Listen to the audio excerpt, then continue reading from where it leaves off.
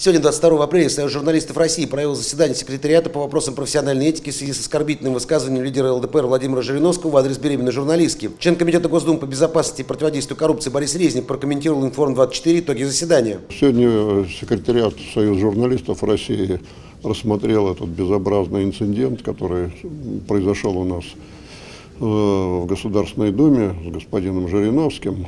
И мы решили никаких злых э, каверс не учинять господину Жириновскому, а призывать коллег консолидироваться и бойкотировать его просто, как политика, как человека, э, который позволяет себе такое хамское, безобразное отношение с женщинами. Уже сегодня, видимо, узнав об этом, господин Жириновский не пришел на утренний выход э, к прессе, видимо, понял, что ему придется стоять там, так сказать, одному.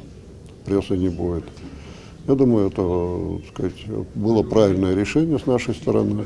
Мне задают вопросы, э, вот, а подпадает ли э, под статью о воспрепятствовании профессиональной деятельности журналистов. Я думаю, что это скорее подпадает под 130-ю статью оскорбления вот, э, его действия. Ну, это уже сами журналисты или органы, которые они представляют, будут принимать решение, подавать на него в суд или нет.